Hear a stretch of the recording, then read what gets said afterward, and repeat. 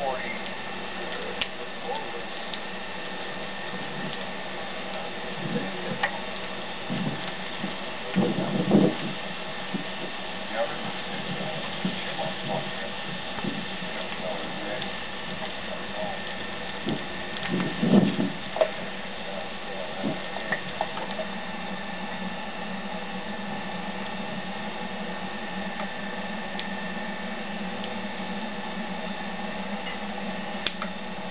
This guy was the same way. You know, get on tape.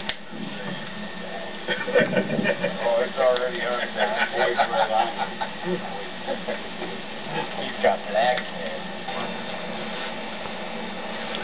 There's the veterans for Veterans Day. Charlie Smith. You know, you wouldn't recognize the tape. Taylor Boy. Nowadays. There's Jim Welch, another Vietnam vet from Lincoln Park. You look like your brother Sean. And here's uh, my brother Patty Boy from Wyandotte, another veteran. Yeah, KP.